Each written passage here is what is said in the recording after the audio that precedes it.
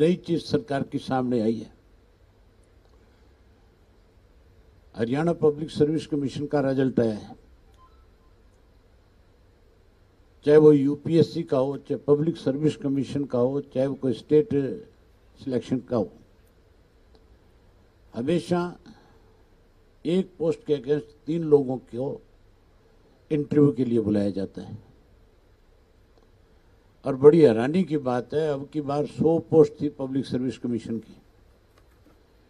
उन सौ के अगेंस्ट बुलाना तो चाहिए था तीन सौ लोगों को। पब्लिक सर्विस कमीशन ने अपनी मर्ज़ी से फैसला ले लिया कि जिसके 45 परसेंट से कम नंबर होंगे, हम उसको पास ही नहीं मानेंगे।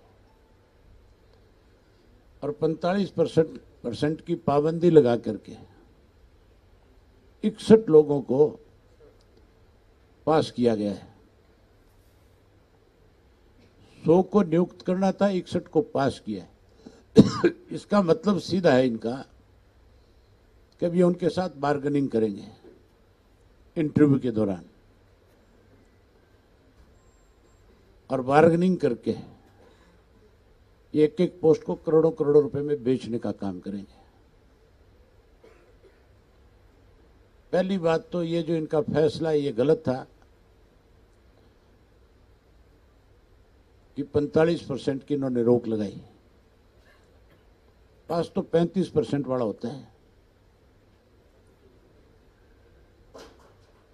अगर किसी के ज़्यादा नंबर आएँगे तो ऊपर चला जाएगा। अगर किसी के कम रहेंगे तो वो नीचे की पोस्टों पे, जो अलाइड पोस्ट है, उन पे आ जाएगा।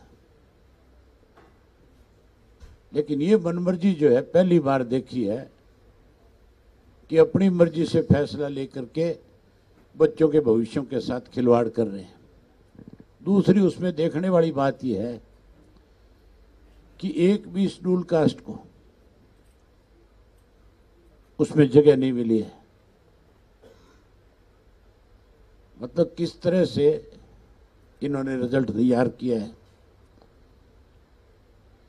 जो रिज़र्व पोस्टें हैं, ये कहीं ना कहीं उन रिज़र्व पोस्टों को खत्म करके अपनी मनमर्जी से वहाँ पे नियुक्तियाँ करना चाहते हैं। कितना अंधा खाता है कि सरकार अपनी मनमर्जी से, अब तो पब्लिक सर्विस कमीशन में लोगों के नतीजे कैसे निकालने हैं? उसके लिए भी अपनी मर्ज़ी से अपनी मर्ज़ी के फैसले करते हैं।